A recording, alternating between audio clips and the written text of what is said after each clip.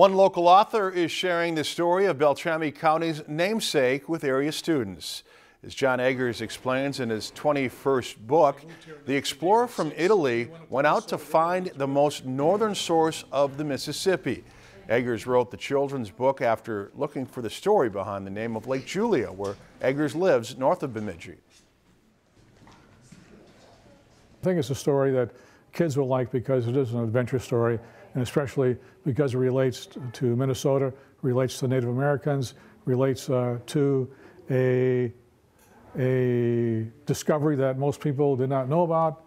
Eggers' book is available at area stores and libraries. He'll also be bringing his story to Lincoln Elementary at the end of the week.